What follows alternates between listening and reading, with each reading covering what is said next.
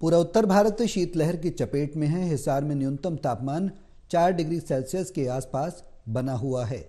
लेकिन दो western disturbance एक बार फिर मौसम में परिवर्तन पैदा करेंगे। मौसम के इसी परिवर्तन से जुड़ी ज़्यादा जानकारी के लिए कृषि मौसम वैज्ञानिक डॉक्टर मदन खीचड़ से बातचीत की। हिसार से टोटल न्यूज़ के associate editor doctor Mahesh Kumar ने।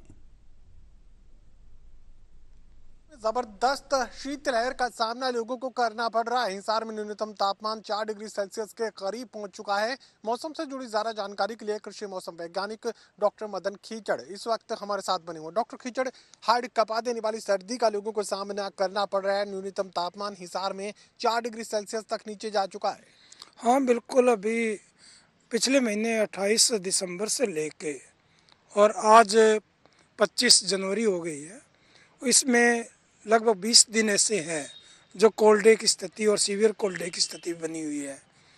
अभी यदि जनवरी की बात करें तो सत्रह दिन और आज अठारहवा दिन है जो कोल्ड डे की स्थिति है, जो सामान्य से पाँच डिग्री तापमान कम होता है और पाँच से ज़्यादा होता है तो पाँच से दस के बीच में तो सीवियर कोल्ड डे है। तो बीच में सिर्फ़ चार या पाँच दिन ऐसे थे जिनमें तापमान तो माइन, सामान्य से कम ही रहा है, परंतु वो पाँच डिग्री से कम रहा इसलिए वो कोल्ड डे में नहीं आते। तो ज़्यादातर दिन हमारे जनवरी के, वो कोल्ड डे बहुत ही ठंड के दिन रहे हैं। हवाओं में बार बार बदलाव हो रहा है। न जब पश्चिम विक्षोभ आता है तो पूर्वाई हवाएँ चलने लगती है और जाते ही उत्तर पश्चिमी हवाएँ चलने लगती है। तो इसके कारण, नमी वातावरण होने के कारण और तापमान में गिरावट भी देखने को मिल रही है। साथ में धुंध का भी प्रभाव देखने को मिल रहा है। अभी आने वाले दिनों की हम बात करें तो अभी भी अगले चार या पाँच दिनों तक दो पश्चिम विक्षोभ आ रहे हैं। एक, आज रात के बाद में उसका पश्चिम विक्षोभ ऊपर पहाड़ों की तरफ़ बढ़ रहा है। उसका आंशिक बादलवाई छब्बीस और सताईस जनवरी को रहने की संभावना है।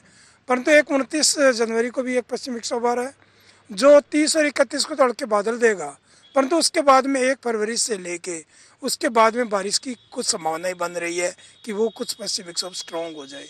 बारिश का ज़िक्र आप करें तो क्या ये हल्की बूंदाबांदी हो सकती है, बारिश हो सकती है या अच्छी बारिश का पूर्वानुमान कृषि मौसम वैज्ञानिक दे रहे हैं? नहीं, ये बारिश ही फरवरी के पहले हफ़्ते में कुछ चांसेस बन रहे हैं, जिसमें बारिश वो कहीं हल्की होगी, कहीं बूंदाबांदी कुछ मध्यम हवाएँ चलने की संभावनाएँ बन रही है कि इस तरीके की बारिश की कुछ संभावना बन रही है।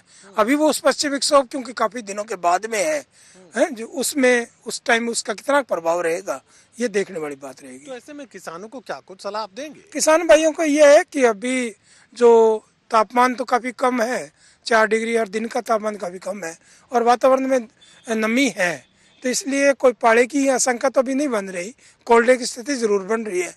तो फ़सलों पर कोई ज़्यादा नकारात्मक प्रभाव तो नहीं है। गेहूँ की फ़सल पर इसका फ़ायदा है। सरसों की फ़सल में थोड़ा सफ़ेद रतुए का प्रकोप हो सकता है तो किसान भाई निगरानी करते रहे सरसों में। कोई और कीट और रोग ना आ जाए। और अपने दूसरा जो सब्ज़ियाँ और फलदार पौधे हैं उनमें भी हल्की सिंचाई करें और गेहूँ में। यदि आवश्यकता हो तो सिंचाई करें नहीं तो फरवरी के प्रथम सप्ताह में बारिश की पूरी संभावना बन रही है। न्यूनतम तापमान के शून्य के करीब जाने की क्या कोई संभावना कोई आशंका ज़ाहिर की जा सकती नहीं अभी तो क्योंकि दो पश्चिम विक्षोभ आ रहे हैं तो बादलवाई आएगी। बादलवाई आएगी तो दिन दिन का तापमान कम होगा और रात का तापमान फिर बढ़ेगा। तो अभी तक पाड़े की आशंका नहीं है। चलिए, बड़ी रात इस बात को लेकर ज़ाहिर की जा सकती है कि न्यूनतम तापमान शून्य के करीब जाने की आशंका को खारिज कृषि मौसम वैज्ञानिकों की तरफ़ से किया गया। हालाँकि हार्ड कपा देने वाली सर्दी का लोगों को आगे भी सामना करना ही पड़ेगा। सोगी कमल के साथ doctor Mahesh Kumar total news Hisar.